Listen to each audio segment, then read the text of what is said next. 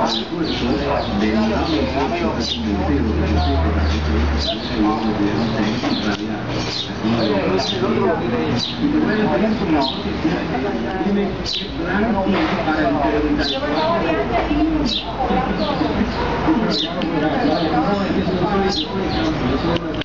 vuelva le va a dar. ¿Me va a se metió?